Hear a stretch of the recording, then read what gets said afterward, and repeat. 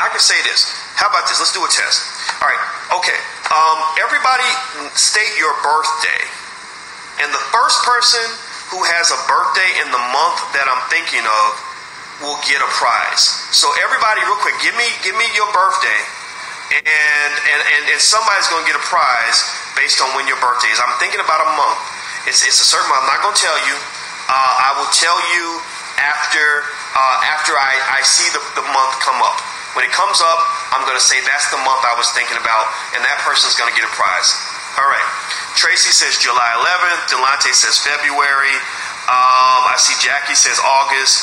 Uh, Christopher is asking about coins. Okay, He's, Christopher ain't paying attention. Uh, Stephen Jones says January. Okay, so the winner has been selected. The winner is Stephen. Stephen's birthday's in January, so January was the month I was thinking about because my cousin Gary, his birthday's in January. Love you, Gary. If I if I if, you, if you're listening. Um, so here here's what uh, here's here's what your prize is going to be, Stephen. Your prize is going to be a million dollars. Uh, a million dollars.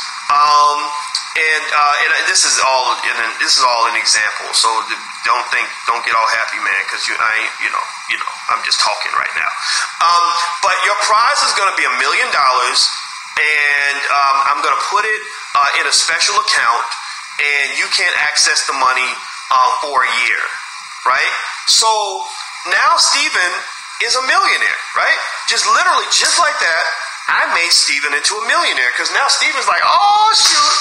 Dr. B told me I won a million dollars. I got a million dollars in my account. Now, think about this, right? Now, let's pretend like this example is, is real life. If Stephen really trusts me, if he really believes that I have this money, then Stephen will go through life as if he's a millionaire. Now imagine if I was a imagine if I was um I don't know Steve Harvey, right? Steve Harvey got that kind of money, right? He could give you a million dollars. And, and, and so uh, and he on the, he's on the Family Feud. So so the Family Feud and Steve Harvey have told him that he's going to have a million dollars. So now Stephen can go and he can do things differently because he's got this commitment from me, right? Uh, so Steve can go to um, his friend. Uh, he can find some. Let's say he can go to uh, Julian. I see Julian Hankins is there, so he can go to Julian and say, "Hey man, uh, I was on Dr. Boyce's podcast and you saw like I won the Dr. Boyce birthday prize."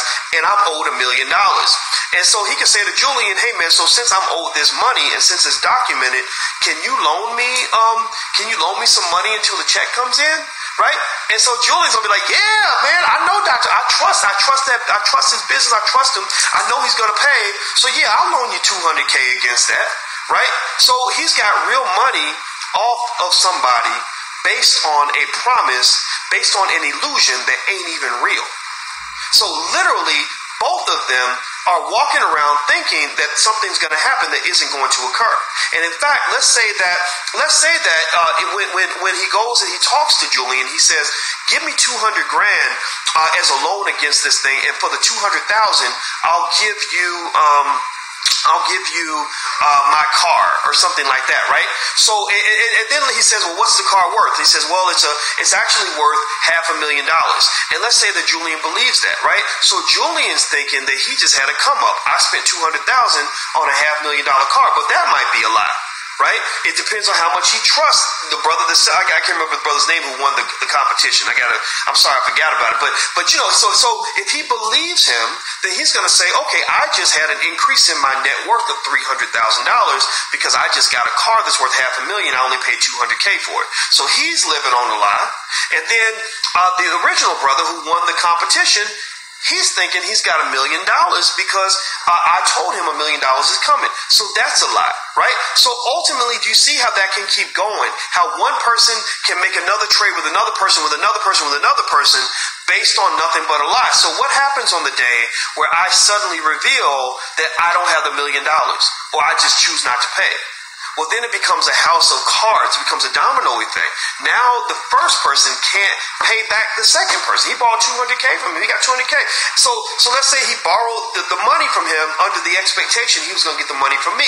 Well, the money from me is not coming, so the other person isn't getting paid. So then if whatever obligations he's made, he can't fulfill those obligations. He might have went out and got a couple of babies, mamas or whatever off of this thing, and then he's going to have the money to afford to take care of his kids. So now he can't afford to fulfill his obligations, and the list goes on on and on and on, right? So ultimately, that's how an economy crumbles like a house of cards, and that's how that's why trust is so important in an economy because if you don't have trust, then you don't have transactions, and also the trust must be validated by truth.